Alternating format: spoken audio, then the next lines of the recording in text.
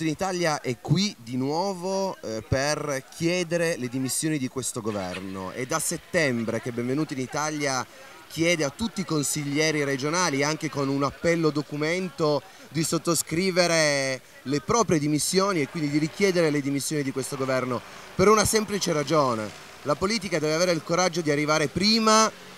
della giustizia, perché vi è un'etica,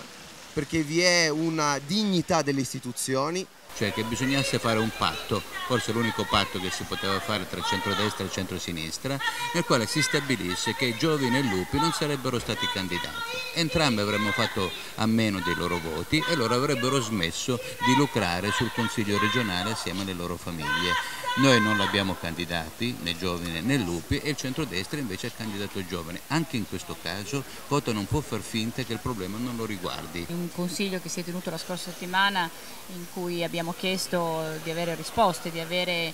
dire, la posizione del Presidente rispetto a quanto stava succedendo all'interno della, della maggioranza eh, regionale sul tema giovani non ha avuto risposte, ma su questo credo che eh, occorre aspettare con grande attenzione, con grande fermezza quello che eh, il, Tribunale ci dirà e ci auguriamo che lo faccia nel più breve tempo possibile perché credo non sia assolutamente immaginabile che all'interno di un'aula che ha il potere legislativo possa, eh, possano esserci figure per i quali esiste una pesante, eh, dire, una pesante affermazione di illegalità.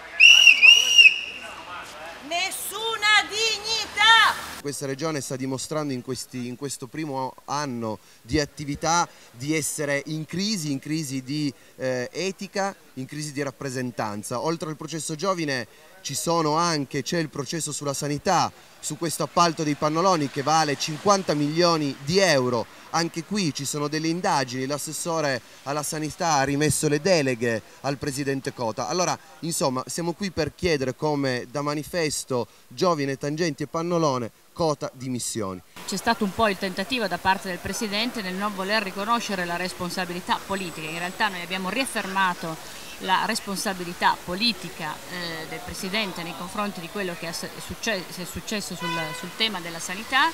ehm, c'è stata l'espressione di una volontà di cambiare marcia, di inversione di marcia, stiamo attendendo i segnali, stiamo attendendo qualche dire, eh, di, nuova direzione in merito. Benvenuti in Italia